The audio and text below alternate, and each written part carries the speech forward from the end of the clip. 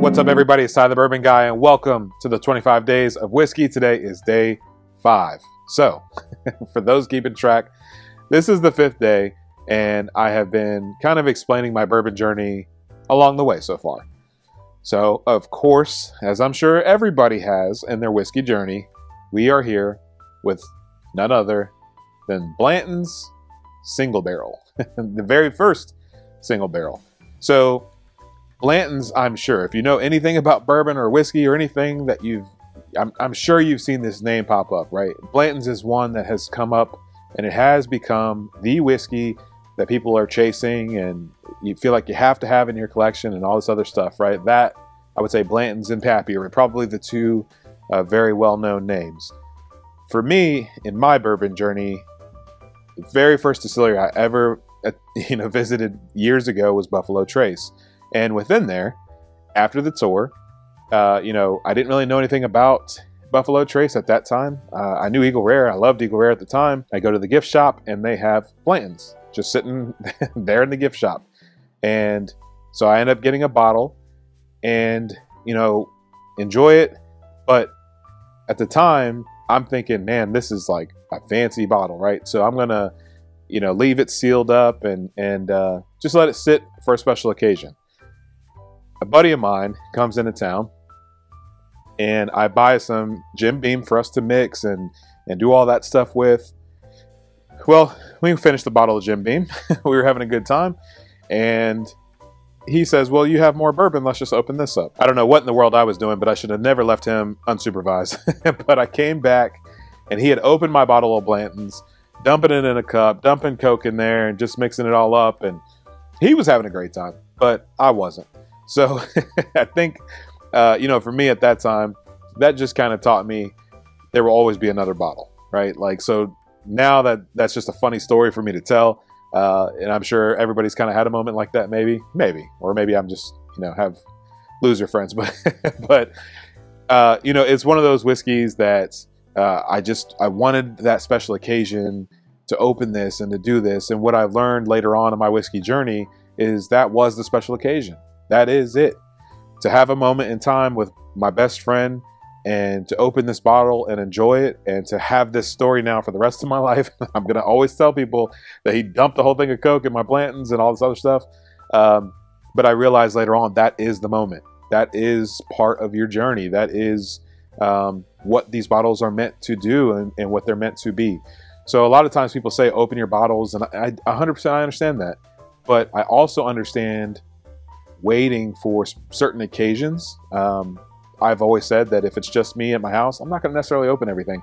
But when people come over, they know that they can, they are welcome to anything in my bar, um, open anything, and let's enjoy it. Now, if you want to just dump Coke in it, let's go find something else besides my Blanton's. But uh, this is the the horsey bourbon or whatever you want to call it, um, where the tops spell out Blanton's if you collect them all. So I think this has become just one that everybody hunts, right?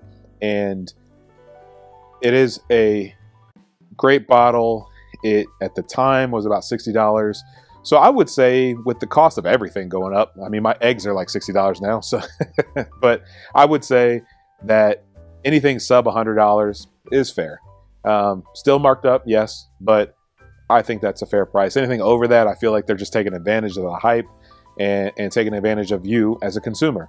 So I wouldn't recommend it over a hundred dollars. But that's just my own my own personal thing. I've seen so many people pass up on amazing bottles, and it's just to get a Blanton's. I've seen I've been at different events or raffles or whatever the case is where you have a chance to to pick different whiskeys, and there's there's all these other ones that are amazing whiskeys, uh, and, and people will pass on that to get a bottle of Blanton's. Blanton's is attainable for sure. You can find it if you if you work hard enough, you'll find it. Um, but it's it's just like anything that you you do all this, you spend all this time at the hunt, and I I am one that can respect a, a good whiskey hunt, but you finally get it, and you're just like, and especially if you pay more than retail for it, you really kind of feel disappointed by it. Um, so I would say if you if you're in a position where you happen to come across it at a decent price and you buy it, enjoy it. It is a it is a good whiskey. Nobody I don't know if anybody that has ever said it's a bad whiskey, But I think when you get a chance to try some very unique single barrel products, whether that's store picks or whatever the case is, you'll start to see that there's a lot out there, not only whiskey in general that, that could be better than this bottle, but the uniqueness of a single barrel uh, private select of these different brands can compete 100%.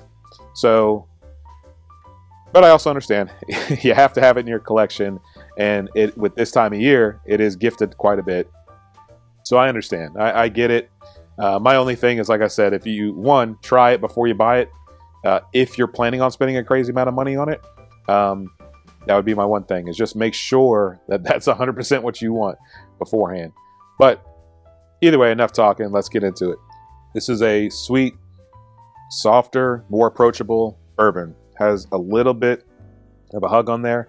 The the particular bottle that I'm drinking right now was a uh, selected bottle, a private select, single barrel uh, from a local store pick, and so and I trust their palate and really uh, probably align with their palate more than anybody around my area, and uh, so in my opinion, this is probably the best Blanton's bottle I have. But that's the that's the fun in a single barrel is to be able to try it, uh, different barrels and see how they relate to each other, how they compare, and how they differ.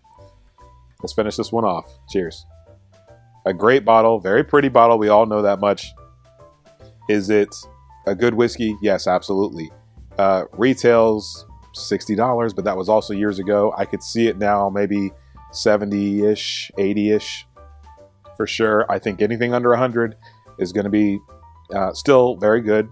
Um, I think going above and beyond that just would not be something I would want to do. Um, I think that this is a, a, great bottle in terms of gifting. So for me personally, uh, there's been a few bottles that I've had that I've been able to, uh, you know, gift to, to other people and let them enjoy it.